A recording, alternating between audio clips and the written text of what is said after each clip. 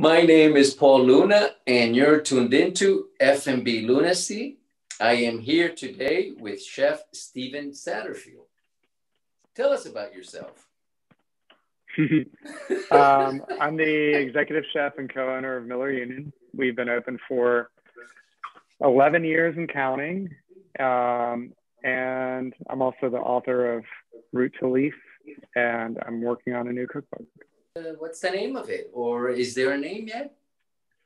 There is a working title that can't be uttered yet um, until I talk to my publisher. But uh, it's a it's a vegetable book, and it's going to be um, like sort of the next phase after Root to Leaf, which was a, a very simple vegetable book for the home cook revolving around the seasons. This one's a little bit more um, looking into texture and flavor profiles that are a little outside of my comfort zone in a great way. Um, just amping up the flavors a bit and using some um, international ingredients to to emphasize what these vegetables can be and how good they can be. Is there a particular vegetable that speaks to you? They all speak to me, and I'm listening. Um, I don't. I don't really pick favorites. I, whatever really is in season at the moment, I get geeked out about, and and then after towards the end of the season, you're ready for the change, and that's what I love is that when you cook with the seasons, there is so much variety that changes, and you you know you follow the weather and and you see what happens and watch your growers. What's your cooking background? Essentially, I was working in kind of casual and short order places when I was pretty young in my um, 20s. And I was playing music in an indie rock band, and it was just sort of a side gig. But the more I learned about food, the more compelled I was. And then when I realized that chefs were actually a thing in Atlanta that, and they were successful and they had their own restaurants, and, and I started working for some of them, uh, I became real. I just got the bug, and I wanted to, I wanted to emulate. When you were a kid, did you enjoy vegetables? I didn't really like vegetables that much when I was a kid, um, but I liked. I was a picky eater, but I liked uh, when I liked baking cakes and helping my mom cook, helping my grandmother cook. And I used to cook dinner for my family like once a week when I was a teenager, just for fun because I could, and my mom wanted a break. So I wasn't that good, but I, I wasn't afraid, you know. And then once I learned technique and flavor and and really understood how to, you know, watch what's happening, the alchemy of cooking, um, I became very enamored with it. Is there a dish you make at home that is simply embarrassing for you to talk about? a bowl of cereal. do you create at home or do you create at the restaurant? Both. But when I, I guess what I'm saying is when I need some peace and quiet, I prefer to do it at home. Mm-hmm. But sometimes when I want to make a big mess, it's better to do it at the restaurant. Can you share with us your view on restaurant and community? Yeah, I think um, restaurants really are the a, a, big part of the fabric of community, and you know everybody has their their local place that they love to go once a week or whatever that they feel like they're at home when they go there. Um, restaurants can give a lot to the community. The the chefs can, you know, teach home cooks how to prepare things or, you know, raise money for a charity. And it's really, you know, we're constantly giving because we're in the hospitality industry and we, we are hospitable people in general by nature. So we want to help. We want to make things better. We, and a lot of times food is the vehicle for that. You're not a vegetarian or a vegan. Oh no, I'm an omnivore. And I have been through phases though of vegetarianism and veganism. How did this love affair for vegetable came about? In your creation and in your books, vegetable is the, the, the, the main ingredient. Well, they're the inspiration. And I, right. I think it's going back to like the relationship between a grower and a chef. It's so important to me. And, you know, that anticipation of what's being harvested and what can you do with it. It's like, it's fun to limit yourself to those things that are just in season because they taste better and fresher and they just excite me. And so I think I there's still so much to be discovered about fruits and vegetables as they're they have so many possibilities in texture and, and flavor. Um, more so I think than than other things because there there's still a lot to to be explored. I mean, think about the spiralizer, for example. You know, that's something that was introduced in the past 10 years, whatever. And the craze that it's created because it's a new way to eat a vegetable. You know, something like that, the mandolin, you know, can change your perspective on on a root vegetable because you can eat root, something like a rutabaga raw because it's sliced so thin you can bite right through it and taste it in a delicious way. And so there's just so many there's so many things that we can still discover about them. And i it's kind of still the the it's i guess it's the last uh the last you know frontier. And the natural when you're creating when you're creating a, a menu is the focus on, on the vegetable as like the main course and the main course is the side? Well, it's more like if you if you have if you think about there's a, a meat on the plate and there's vegetables on the plate, I start at the bottom and work my way up to, to the meat. So like the the way I work on a menu is I look at the harvest list and decide what's going to go with what. And oh, this would be great with duck. This would be great with braised pork or whatever. And then just, you know, the vegetables to me dictate what the menu will be. And then, and then we match the proteins in a matchmaking way.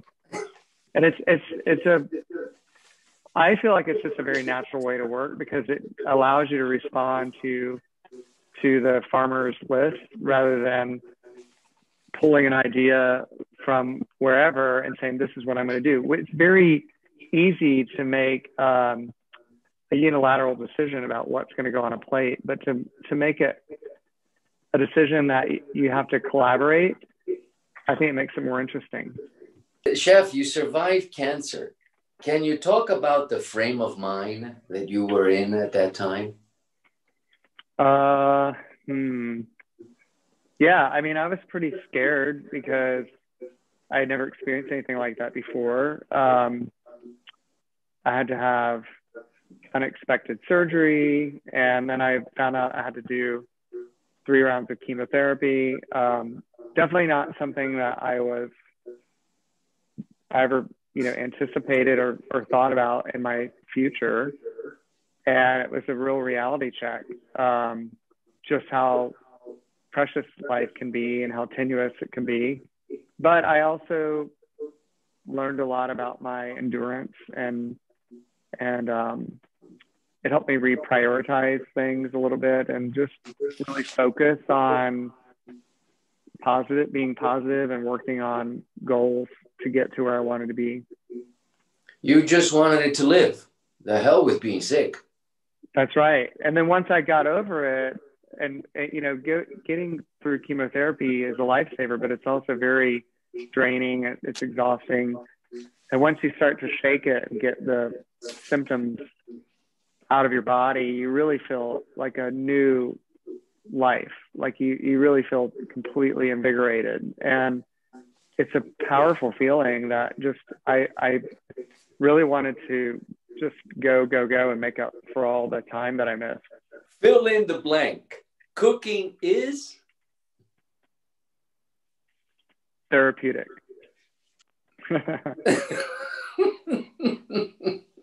It is. It's just um, you know it, the the rhythm of it, the pace of it, the the focus and attention that you put into it, it gives you a place to direct. And that's what I like about it. It keeps me occupied. As as I'm as, very fidgety. as the chef, obviously in the restaurant, chef owner, how do you keep your staff or how do you keep your staff producing the excellence that is now become a part of Miller Union?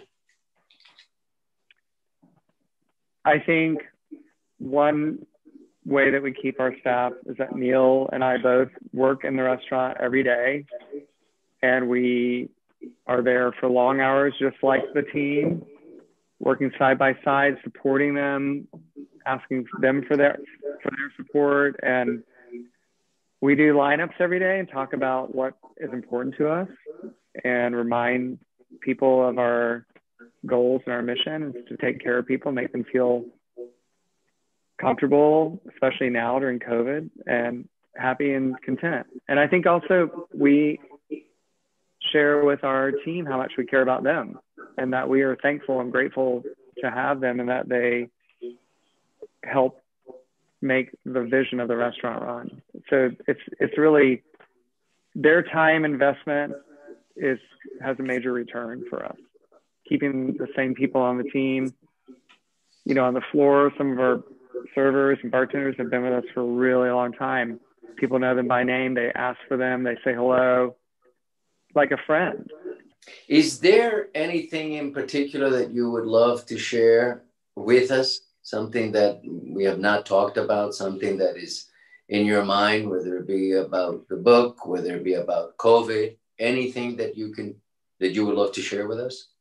Yeah, a couple of things come to mind. Um, I'm really proud of Miller Union, the fact that we have navigated this uncertain time to such degree because I think we have really, um, between feeding healthcare workers when we were first shut down to figuring out how to keep people feeling safe and wanting to come back during such a crazy time, I, I feel like we've we've achieved that. And we put so much thought and care into all of our moves right now. And we've really analyzed a lot of what we're doing and, and try to make things as efficient and smart as possible.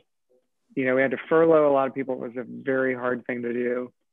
But i'm i think where we are now we're in a stronger place as a team and we feel even more connected than ever before um, but another thing I wanted to share is that, you know, I think there's a lot of praise and even almost fetishism around chefs. And um,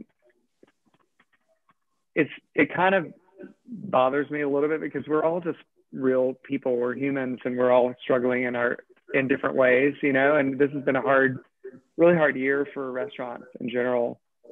Um, but I, but to continue to support the places that are meaningful to you and the, especially if you know the owners and have a connection with them or you just feel comfortable there and you, and you want to keep going back it's so important right now more than ever before to support those places because so many of them are in danger of not making it through this um, you know much lower traffic time and until everyone is vaccinated and and it feels like a safer place and a safer thing to do, a lot of people aren't going to go to restaurants because they just don't feel like it's a good idea. So, you know, buy the takeout and get the meal kits and get buy a bottle of wine instead of going to the package store. Like buy from the people that you know that are supporting the community because it, it's so important right now to, to do that. And it, we can feel it and we, we feel the love from the community and just a good reminder to support those places that you care about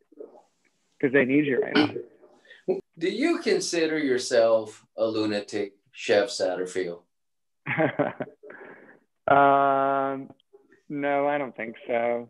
I think I can get a little crazed at times, but I, am probably not. I, I wouldn't classify myself as a lunatic. I don't think so.